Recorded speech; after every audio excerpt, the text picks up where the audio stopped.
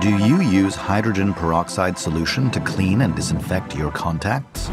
It's important to use it correctly because if it comes in direct contact with your eyes, it can cause stinging, burning, irritation, and even damage to your eyes.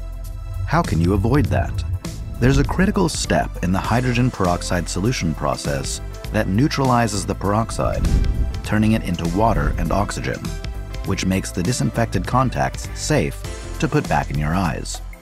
Neutralization can be a one-step or two-step process, depending on the brand of solution you use.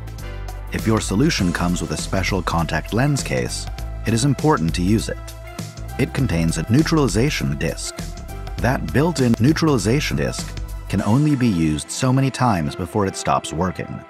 This is why you should never use the old case when you get a new bottle. Also, look at your bottles.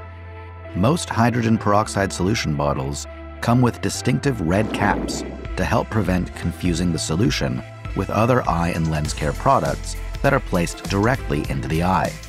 Hydrogen peroxide contact lens care products are safe and effective when used properly.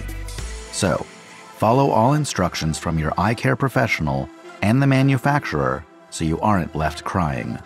Please check out our consumer update for even more information on this topic.